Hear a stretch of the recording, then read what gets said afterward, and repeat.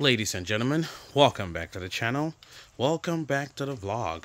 So today, I'm doing a fuel pump upgrade. Now I'm just going to go through this. It's going to be a long talking, showing you step by step instructions for getting your RS7, your C7, C7.5 RS7, so 2014 to 2018 RS7 fuel pump upgraded. Now, I have a spare one here and this spare one is not flowing as good as or at least theoretically that's what the mechanic says that this doesn't flow as good as the one that came out of the car. So this flows at like 80s the other one flows at like 90% capacity. So there's two parts to this. Um this top part here this top part here is the filter and that's a fuel pressure regulator. There's a line that goes here straight to the fuel pump. So that's the fuel pump down there. Um, so now that you understand how that works, this is the part that needs to be modified. This line right here. And you need these two parts here. So this is a 516 this is a 516 hose, two of them, because you need to tee off the OEM fuel pump. You keeping up with me? You need to tee off the OEM fuel pump, and you need a 516 to a 516 brass, so it's E85 safe, to a um, one quarter fit in. I'll repeat that 516, 516, one quarter fit in on this side. You need an extra long 516 so that you can reroute the fuel pump, the secondary fuel pump, to the other side of the floater. That's the problem I'm having right now. So, right now, what I'm going to do is go take that car apart and I'll show you well I guess I can go step by step and show you how to get to the fuel pump. If you have a baby seat that's a little bit more complicated but nothing crazy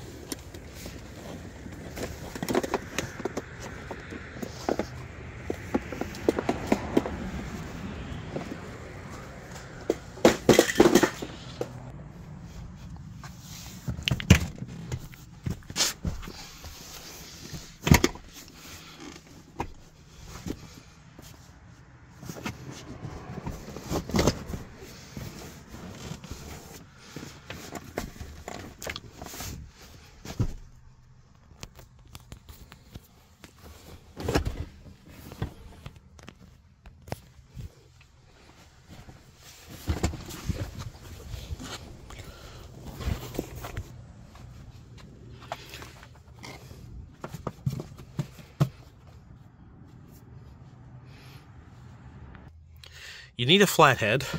Um, not the world's longest flathead, but you know, a flathead. And you need a Phillips head. So not a sharp one, but like a, a medium-sized Phillips head. Um, just so you can undo these. It'll help if I can get this torqued properly. Hold on.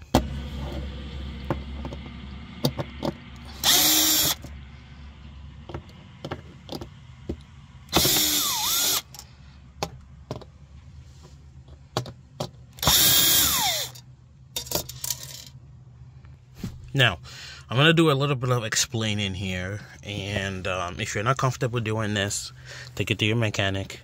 Uh, I will link my mechanic in the description below. And all the links to all these parts will be in the link. Uh, will be in the description of this video down below. Now, this here would look differently for you. I mean, this is mine. This is what it'll look like for you stock.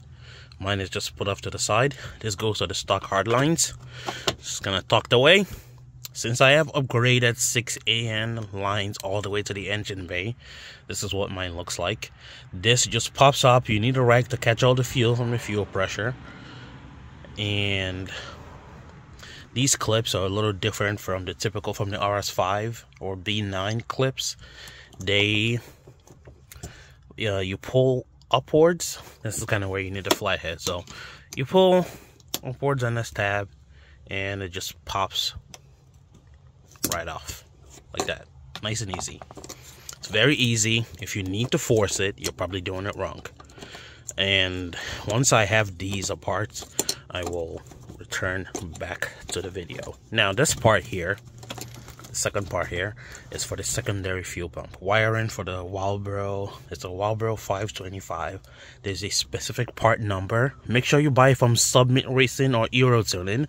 I got mine from UroTuning. I will put the link in the description below again um, for the Walbro.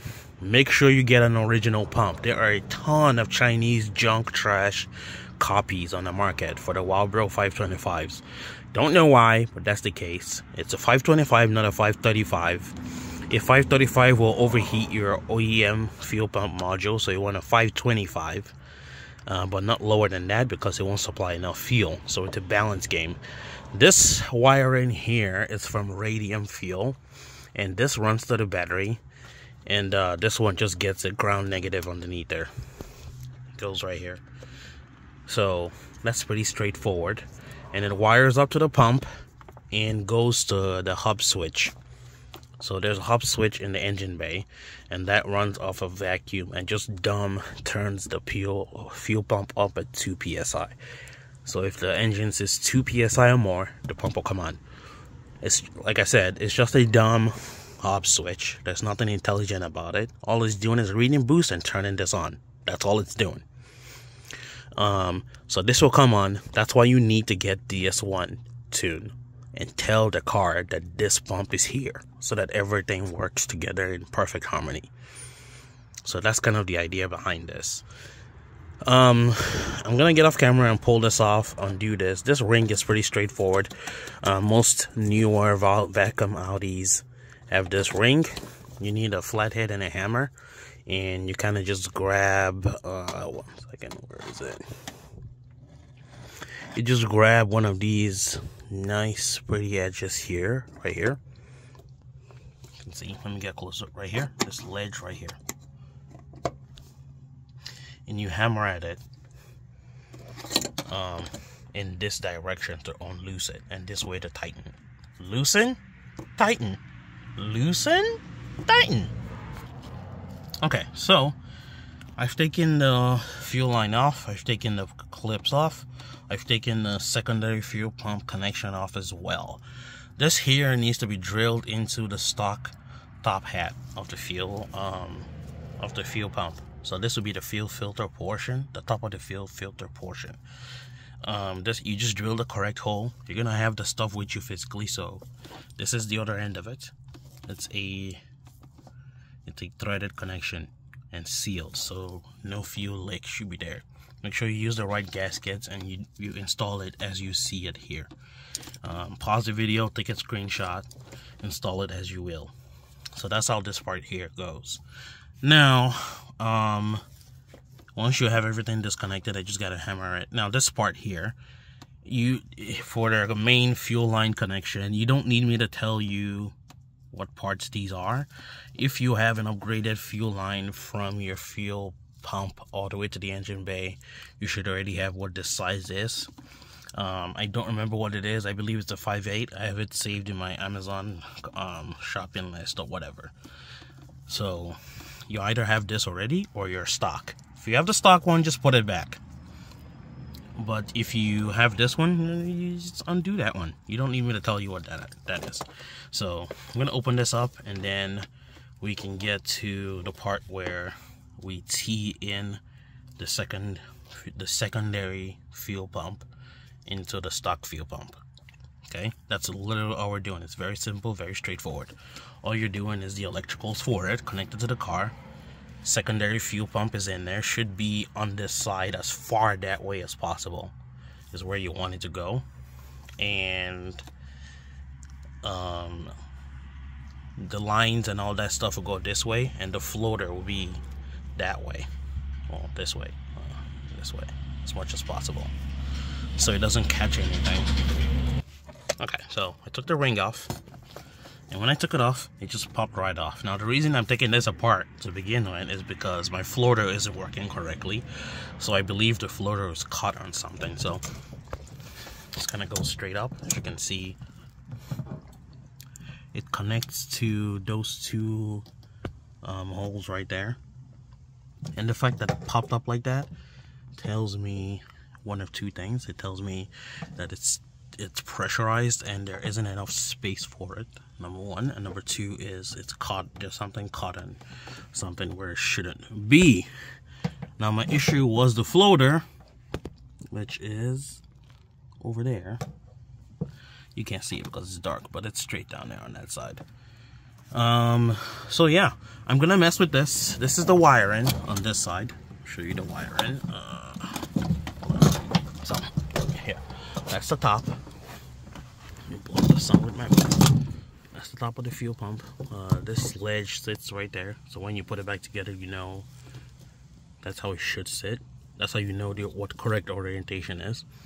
There's literally space for this tab and this is the only space that it'll fit. If you try to put it here it won't fit because it's too big. Same thing with all the other spots.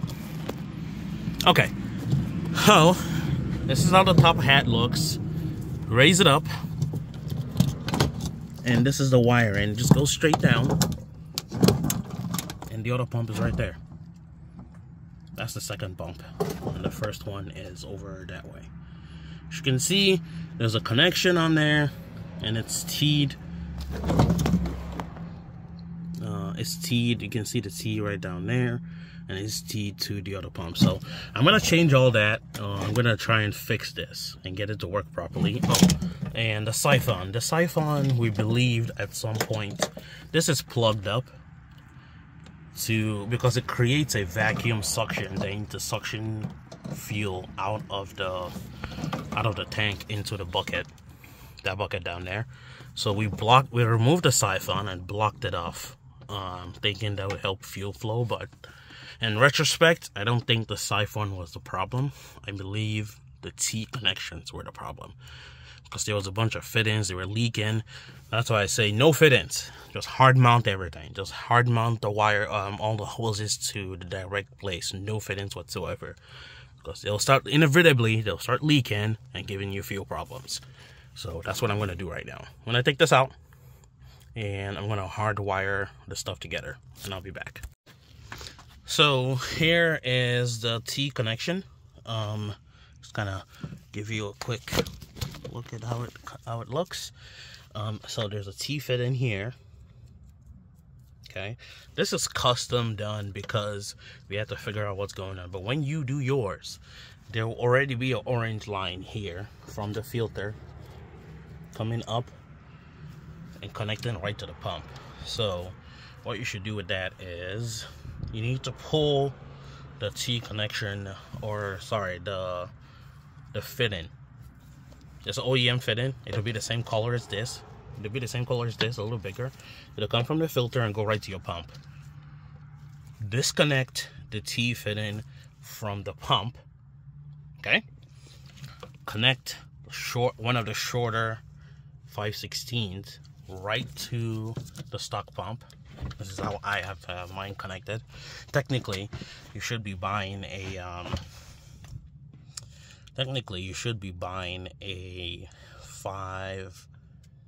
Um, a quarter, but let me back up one second. So here's the filter. Here's the OEM pump, right? You need to remove the line, the same color line OEM one as this one, from here, okay?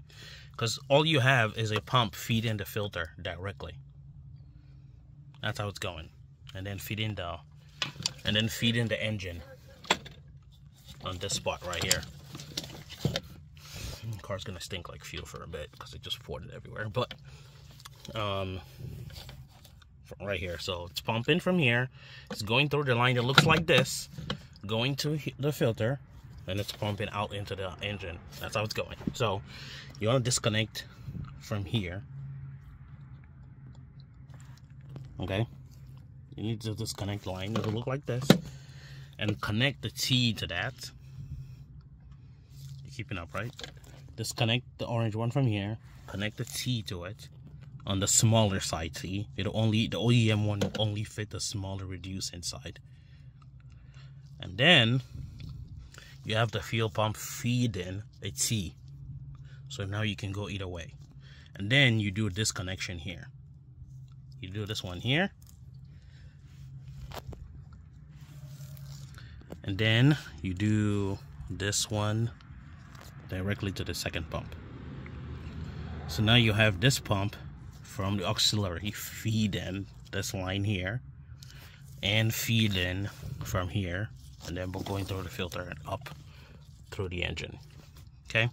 So disconnect OEM from here connect to the T on the reduce inside of the T. Now you have a pump feed in one uh, a T so now you just T the connection back to the OEM's the OK on filter and to the second pump. This pump helps. So when it turns on it'll feed this will feed and they both go up into the OEM into the engine area. So that is the um, idea of it. It's very simple very straightforward very ghetto looking. Um, but all these hard connections here will help will help your fuel flow. So there's no leak and it'll help long time reliability because there's no fittings to go bad because of E85 all right i'm getting high from the film so i'm going to put all this stuff back together and i'll do a recap. All right so here we are. Everything is sort of back together. Not really. There's the ring there. There's this. I moved the location of the pump.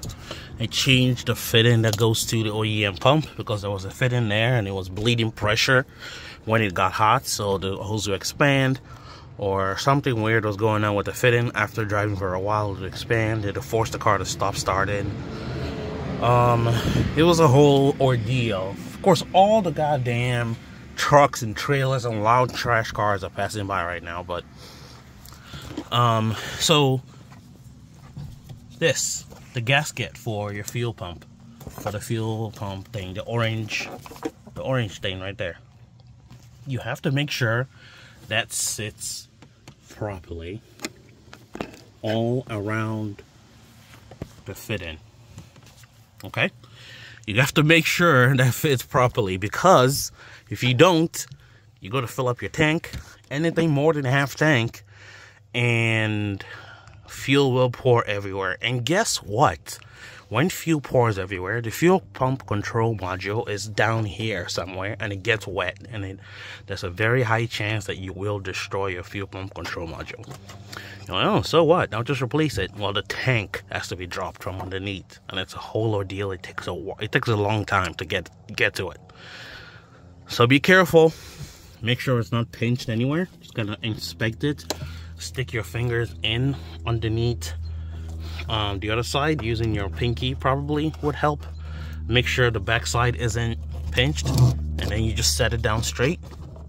Well you gotta make sure um, make sure this is aligned just right.